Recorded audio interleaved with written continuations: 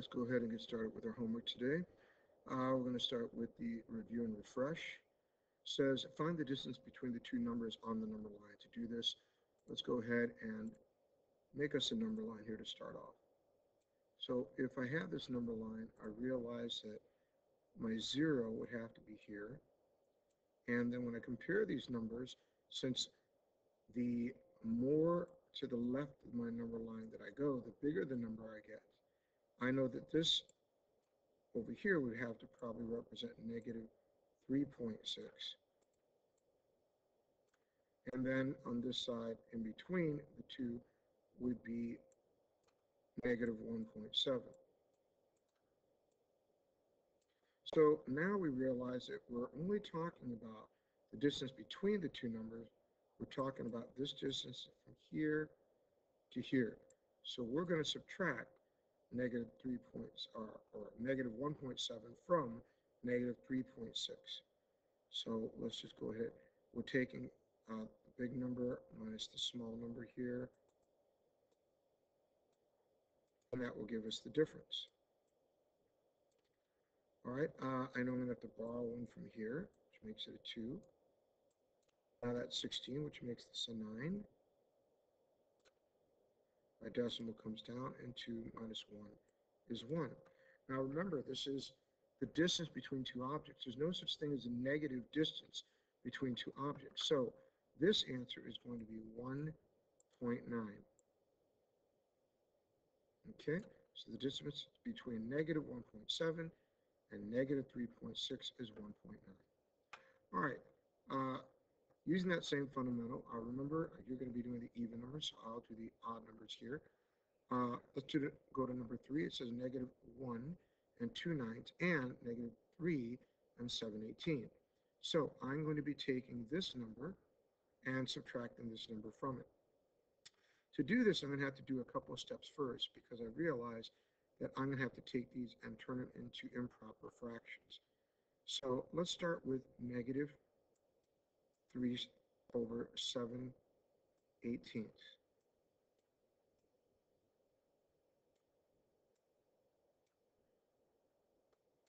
All right, uh, now I realize I'm going to take 18 times 3 and then add 7. We call this going around the world. So let's get our calculator out, make sure we're getting the right answer. 18 times 3 plus 7. And that's going to give us 61. So this is really going to be negative 61 over 18.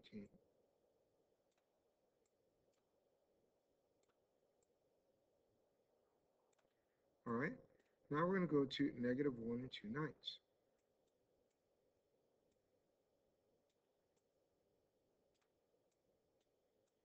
I'm going to do this. Again, I'll take 9 times 1, that's 9. 9 plus 2 is 11, so this would be negative 11 over 9. Now we also have to remember that in order to add and subtract, we need our denominator to be the same. So uh, since 18 is twice as much as 9, I can multiply 11 over 9 to 2 over 2. Remember, I'm allowed to multiply any number to 1 and it equals itself. Every fraction is a division problem. So this is 2 divided by 2, and that equals 1. So that's going to give us uh, negative 11 times 2 will be negative 22.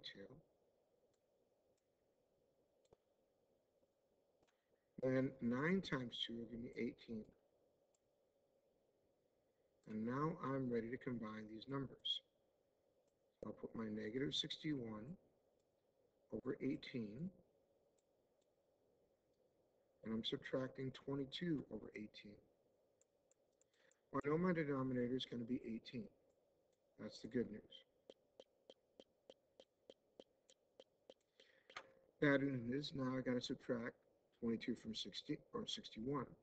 2 cannot be subtracted from 1, so I'm going to borrow 1 from here. It's going to turn this to a 5 I'm going to turn that 1 into an 11. Uh, that's going to give me uh, 2 minus 11, which will be 9.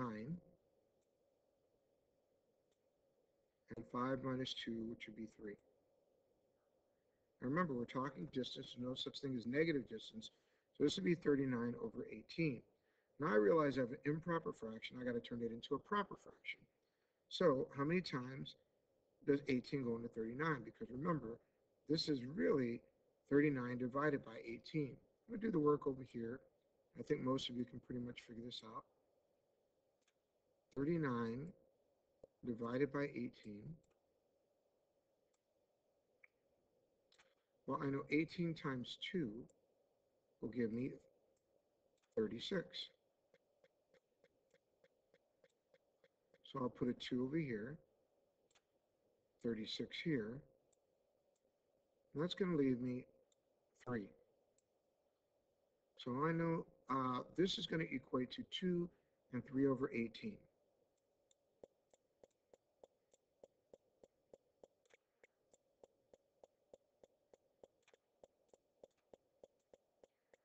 To remember to reduce. Both 3 and 18 are divisible by 3. So um, I'm going to turn this into 2 and 1. 3 divided by 3 is 1, and 18 divided by 3 is 6. So this is really 2 and 1 6. So um, the distance between negative 3 and 7 eighteenths, and negative 1 and 2 ninths is 2 and 1 6.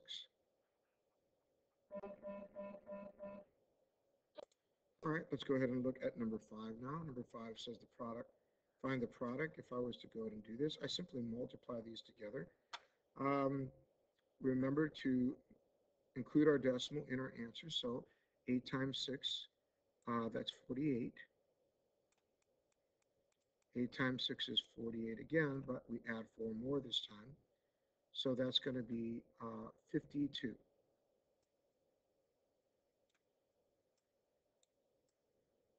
We'll carry the 5. 5 times 6 would be 30, plus 5 make 35. And now we have to remember to bring that decimal into our answer. So since there are two places the decimal uses, we will come back two places. Our answer has to be 35.28. All right, let's go ahead and work this one over here. Uh, I'm going to take a shortcut just like I know you guys will. We could stack these and do them just like we did. Or I could say that 5.49 times 13.5 is equal to 74, 115.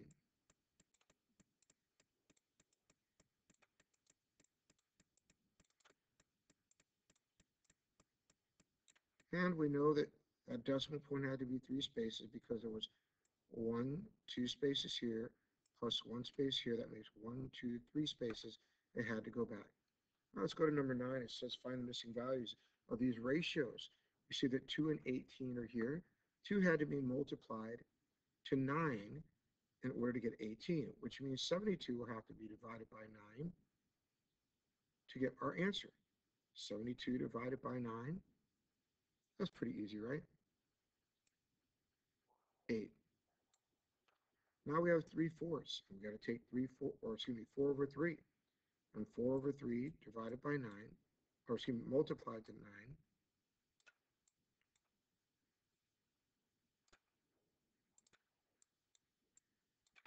will give me 4 times 9.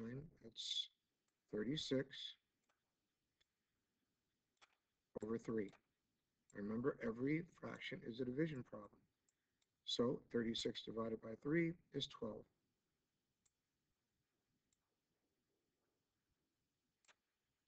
All right.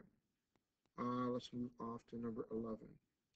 Without dividing, determine whether the decimal form of the fraction terminates or repeats.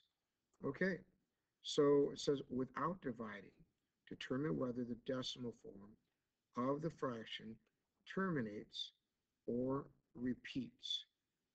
Okay, um, well, we can go ahead and find is pretty easy. But finding these answers are only possible if you know uh, what the denominator's uh, power is and uh, as far as what it can go into. So I want you to just be able to actually divide these and give the answer. So I want you to go ahead and get in the uh, habit of just, you can either use your calculator or figure it out. This would be five divided by seven. I'm gonna do the first one without the calculator, just so we get a little bit of practice here. Uh, this is five. Remember, it's always the numerator divided by the denominator. And I can tell you this is gonna repeat. I know that because uh, I think seven goes into ten. It's not a factor of ten. If we did this, I'd have to put a decimal here and put a zero here. I know that seven goes into 49 seven times, right? That's going to give me 49. That's going to give me one as a remainder. And then I have to put a zero here. Seven goes into 10 one time. And that's going to give me a remainder of three. And then I'm going to put uh, 7 goes into 30. Let's say uh, 4 times, which will give me 28. And then that'll leave me a remainder of 2. And then 7 will go into 20 uh, 2 times, which will give me 14 giving me a remainder of six. And then seven will go into 60. I'm going to go with six times. No, I'm sorry, uh, eight times, which will give us uh, 56. That's going to give us four left over. Um, let's see. I have to come up here because I'm running out of room. Uh, now I have to say 9 times 7 going to 40. Um, that's going to be, let's see, um, 5, right? Because 7 times 5 is 35. And that's going to leave me 5 left over. And I would keep going, but look over here. That's what we started with, 5, which means we're going to repeat all this. So my decimal is going to stay here, and this is going to be 7, 1, 4, 2, 8, 5 repeating. So that is going to be a repeating number. So uh, answer number 11 is repeats.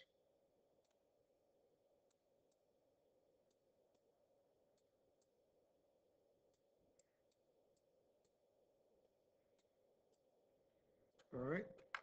Number 13, we're going to take a shortcut and go with. Yeah. So if we check this out, uh, we would go 5 divided by 24. And that gives us, look at that, another repeating number, 2083 repeating. 2083 and the 3 is repeating. Okay? All right, so um, that one is also going to repeat.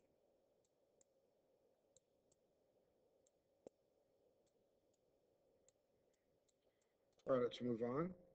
Uh, let's see, I got number 15. It says, write the fraction or mixed number as a decimal. If I do this once again, we're taking 1 and dividing it by 11. I'm going to take the shortcut. 1 divided by 11. Okay uh, 0.0909, so 0.09 repeating. All right, number 17 is negative 7 over 9, so that's 7 divided by 9. That's going to give us 7 repeating, 0.7 repeating. Okay, uh, let's go to number 19 concept skills and problem solving. So it looks like since it's a runoff of this, that once again we are looking at changing these numbers to decimals, I believe, right? Uh,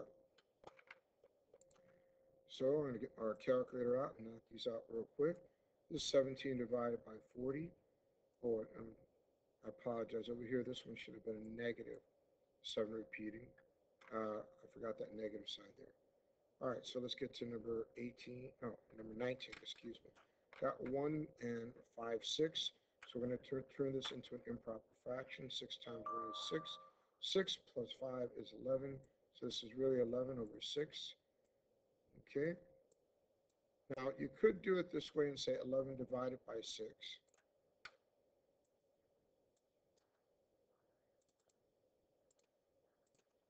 And you'll get one point eight three repeating. One point eight three repeating. The other thing you could do is realize one is in front, so we automatically add one and just put five and divide it by six. And that will also give you your 0.83 repeating, see? So you would just take the one and put it first, then put the decimal and put 83. And since three goes on forever, you put a line over three to show it's repeating. All right, let's move on to the next one. Uh, we're going to number 21. 25 divided by 24.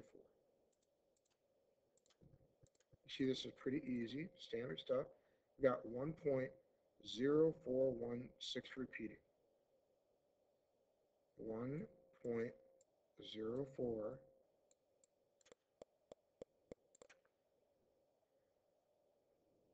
one six repeating.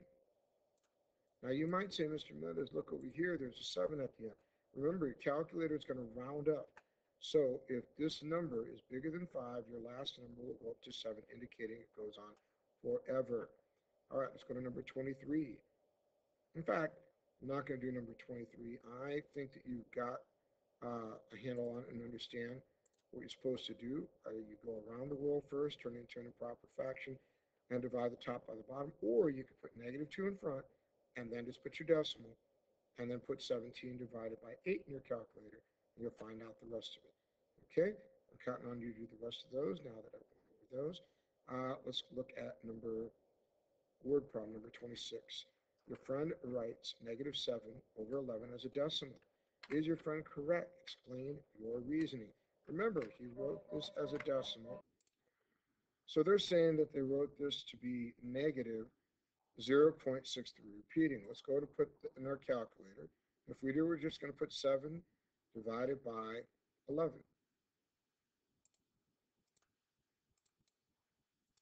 And that's going to give us 0.636363. Now notice this line is over the 3. It is not over the 6. So this is incorrect. What it should be is negative 0 0.63, but both the 6 and the 3 should have a line over them indicating that they both repeat. All right, I'm going to go on to number 28 now. And I know that I went over to even numbers, so uh, no need to correct me when we get to class. Write the decimal as a fraction or a mixed number in simplest form. So now we're writing this as a fraction. Now remember, if it doesn't have a line over it, the first rule is whatever numbers have are uh, following the decimal, we put a zero under each and then put a one in front. So now I have 45 over 100, okay? Now I have to reduce.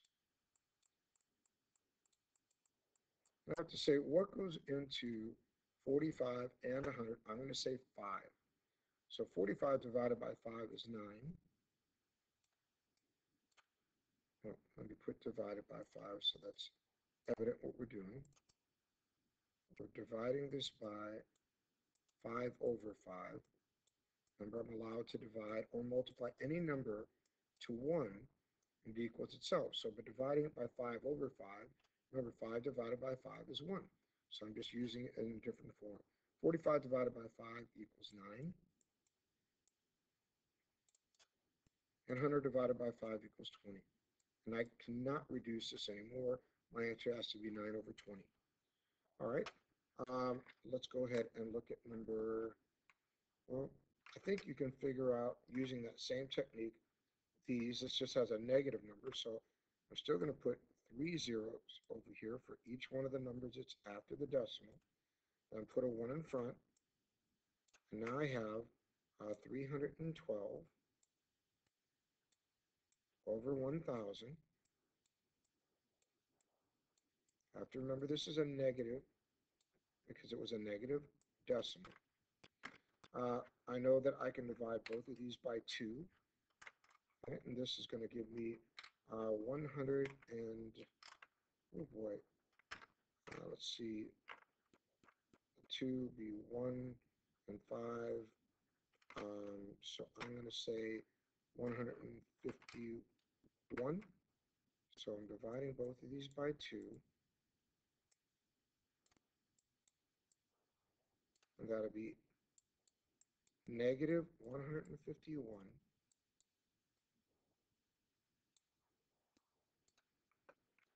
And you know what? I take that back because that one there, that's going to be 156, I believe. Let's go ahead and double check that. Okay, 312 divided by 2. Yep, 156. All right, and then 100 divided by 2 would be 50, or excuse me, 500. That's 1,000 divided by 2. And now we got two even numbers again. So I have to divide it by 2 again.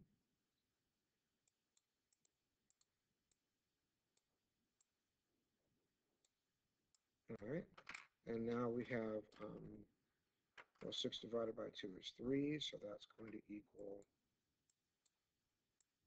see, 3, and then we got um, 50 divided by 2 would be 25. So actually, that 56 divided by 2 is going to be 23. And 100 divided by 2 will be 50. So 50 plus 2 would be 73.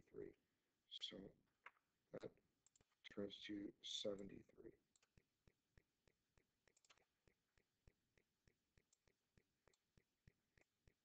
And we'll double check that with the calculator. 156 divided by 2, 78. Ooh, my apologies.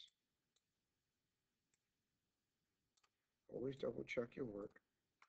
And 500 divided by 2, that's definitely 250.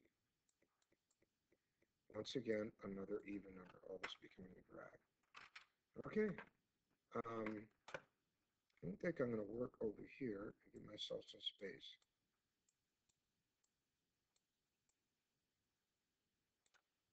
Okay, and uh, let's see, that's going to be 250. And let's go ahead and erase this, giving us some space just in case this keeps happening. Uh, 78 divided by 2. I'm not going to make any errors this time. I'm just going to divide it by 2 here. That's going to give us 39. All right.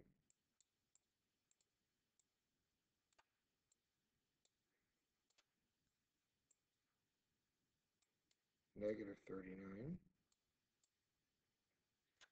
And I know that uh, 250 divided by 2, that's going to give me 125. And we cannot reduce this anymore. So we should get negative 39 over 125. And that is our final answer. So little circle around it because there's a lot of stuff over here that confuses us. Um, let's see. I think I'm going to do one of them where it has a number in front. Uh, and this is pretty easy because with a number in front, it tells me that same number is going to come in front of my fraction. I'll put a negative 1 there. Now I just have to do 64 and do the same thing that I did over here. I'll put a 0 underneath each one of these.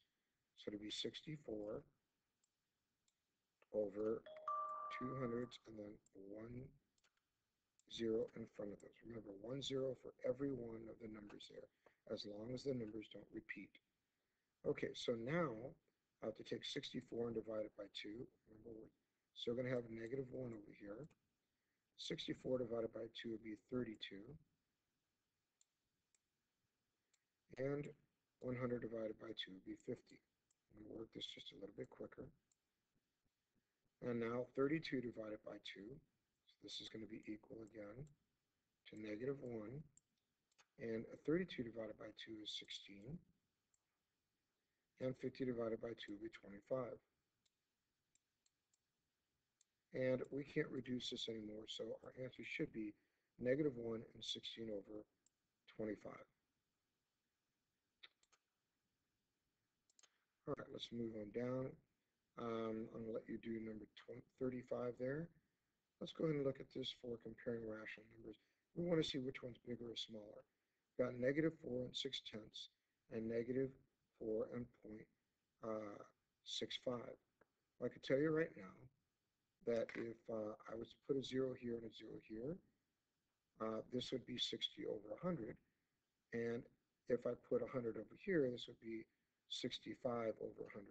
So that tells me that this is less than this. Okay? Um, you're going to have to go ahead and take one of the numbers and make it a decimal to match the other, or take the decimal and turn it to a fraction in order for you to be able to find out which one is less and which one's more. I'll let you do 37 and 38 on your own. Uh, let's see, it says 39, modeling in real life. Is the half pipe deeper than the skating bowl? All right, so we're going to have to look at these and see which one's deeper. Well, we know that this is negative 9 and 8 over 3 repeating, while this is negative 9 and 5 over 6. So the best thing we could do is find out what is 5 divided by 6.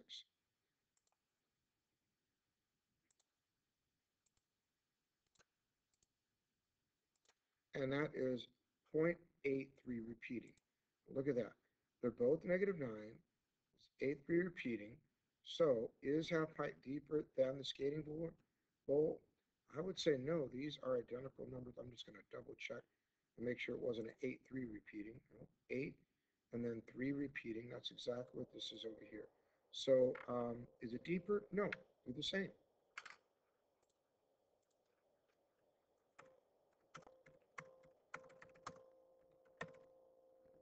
All right. All right, we're going to skip number 40. I'm going to leave that for you. Uh, now I'm going to go to check these out. It says order, ordering rational numbers. They want you to put these in order. Okay, so um, let's go ahead and take a look at number 41 here. Uh, it says negative 3 fourths, 0.5, 2 thirds, negative 7 over 3, and 1.2. If I was to do this, I have to put them all in one type of number. I'm going to put them all to decimal. I know 3 divided by 4 is 0.75. So this is going to be negative 0.75.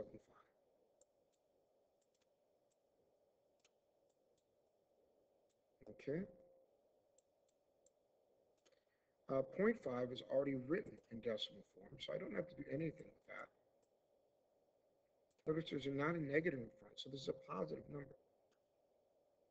And we have 2 thirds. Well, 2 divided by 3 is going to give us, uh, pretty sure, 6 repeating, 0.6 repeating. So let's go and look that in the calculator. Can see how that comes out. 2 divided by 3 will give you 0.6 repeating. So this is going to equal 0.6, and that 0.6 is going to go on forever. Uh, the next one is negative 7 over 3. Well, I know 3 goes into 7 twice. So that's actually going to be equal to um, negative 2 and 1 third, right? You can see I'm just going to do the work over here. This is really 7 divided by 3. 3 goes into 7 two times with 1 left over. Okay, so we've got um, 3 and, uh, excuse me, 2 and 1 third. Now I have to say, what is uh, 1 third? I know 1 third is 0.3 repeating. So this is going to be equal to negative 2.3 repeating. And now the last one is 1.2, so that's going to be left the way it is, 1.2. All right, so I'm going to put a comma after all our answers, okay, and erase this over here so we don't confuse it with anything. And now we look at these, we can see which one's bigger. first we got to deal with the negative numbers. The bigger the negative number, the more uh, smaller it is. So negative 2.3 repeating has to be the smallest number. So that means negative 7 over 3 is the smallest number. Next is the other negative number that we have here, negative 0.75. So we're going to put uh, negative 3 fourths as our next smallest number. Uh, after that, we've got positive numbers left. We've got 0.5, 0.6 repeating, and 1.2. Well, we know that any number that starts, uh, has a decimal in front of it is less than 1. So the smallest number out of all these is going to be 0.5. The next biggest number will be 0.6 repeating because 0.6 is bigger than 0.5. So that would make 2 thirds as the next biggest number. And that only leaves one number left, and that's 1.2. That makes sense because uh, 1 is bigger than uh, part of a number, like 0.5. And so now we have all our numbers in order from least to greatest. I'm going to let you go ahead and do number 42 through 46 on your own. And let's see, let's go ahead and take a look at number 47. The table shows uh, the change in the water level of a pond over several weeks. Order the numbers from least to greatest. I'm actually going to leave you number 47 because it is very much like the ones we did up here. I think you can figure it out. Let's go to number 48. Open and find one terminating decimal and one repeating decimal between one half and negative one third. All right, so we're going to find one terminating decimal and one repeating decimal between these. And the book is just going to give you a sample answer, and their sample answer is negative, uh, 0.4 and uh, negative 0.5 repeating. All right. Um, you might be saying, okay, how do, how do they come up with that? Uh, you're going to have to go ahead and find common denominators and then break down the numbers even uh, to smaller, uh, or I'm sorry, to make the uh, numerators. Uh, and then once you find what the numerator is with the common denominator, you'll be able to divide those fractions uh, and figure it out. So let's just use this as an example here. If I wanted to take negative 1 half, and remember, uh, need a number in between here, so I'm going to make my denominators 6. So in order to make uh, 1 half 6, I'd be multiplying 2 to 3. So I'd have to multiply the 1 to 3. That would make this negative 3 over 6. Over here, um, we have negative one third. So to make this 6, we would have uh, to multiply it to 2. So this would be negative 2 over 6. Now remember, you're needing numbers that are in between here. So once again, you can multiply these numbers to even smaller or uh, bigger denominators, which will make a bigger difference in your numerators. Uh, for example, if I was to multiply 6 times 10 and make both of these 60, all right, that would go ahead and uh, make this 30, so this would be 30 over 60.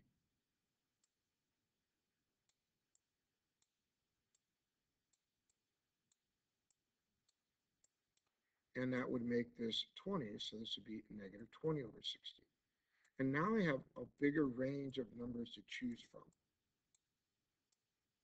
All right, so I could pick a number, uh, let's just say like 32 over 60. Okay, remember we're looking for numbers in between. So I could say uh, negative 30, so it can't be a bigger number, it has to be in between here. So actually it have to be, let's see, I'm going to go back on this. It would have to be something like negative 28 over 60. Let's see what happens when I do that.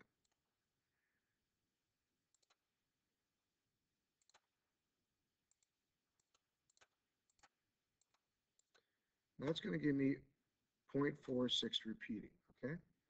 Um, remember, we're not trying to match the book's answer, we're just coming up with some.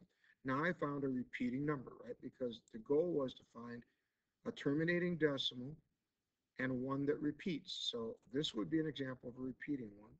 We would have uh, 0.46 repeating.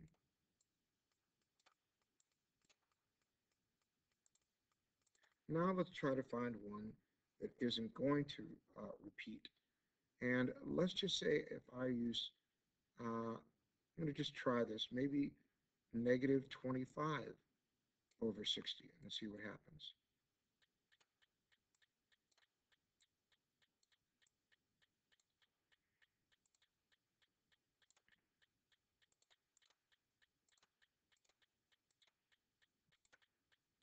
That also gave me a repeating decimal. That's not going to work. Remember, I'm trying to find one that that terminates. So I'm going to have to cross that one out. All right, let's go with, um, how about, well, going to go these one at a time. What if I do 21 divided by 60? Look at that, 21 divided by 60 gave me 0.35. So I could go with negative 21 over 60. And that gave us negative 35, negative, excuse me, negative 0.35. All right, so uh, that would be my examples that I could give of numbers that are uh, between those two numbers uh, one is a repeating decimal and one is a terminating decimal. All right, I'm leaving the rest for you. That was enough for me. Um, hope that that helped. Uh, you figure out how to do all of your homework. I'll see you in class to check it. Good night.